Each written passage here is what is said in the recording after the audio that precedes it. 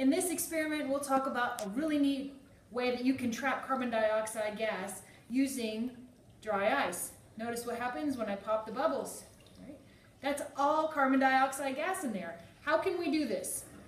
So you want to have some water and then you want to put some dry ice in.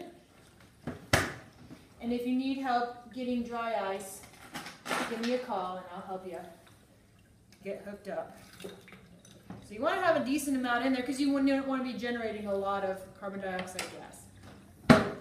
Now you want to take some string or a shoestring um, and dip it in a soap solution and make kind of like a ring, like what you would make like a bubble wand, like what you blow bubbles with. So get a ring and then plop it over the top. And now, what do we have? We've trapped that carbon dioxide gas. And this will keep going until the surface tension just gives out. So we can make some really, really big bubbles this way. And it's such a cool wow factor, right? Because it's full of carbon dioxide gas. And so it's completely different from what you would expect a, a regular bubble to look like when it pops. So that's one way that you can do it. I'll just set this off to the side so you can keep watching it. Let's do another thing with uh, the dry ice and making some bubbles. So here's another one that I've got sitting out. I'm going to put a nice chunk of dry ice in.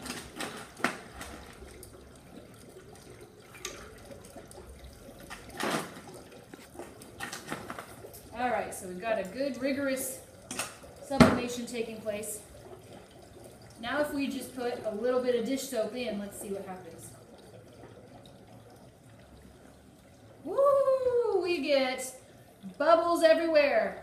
And what kind of bubbles are they? They're dry ice bubbles, so you can pop them. And it's totally different from what you would expect.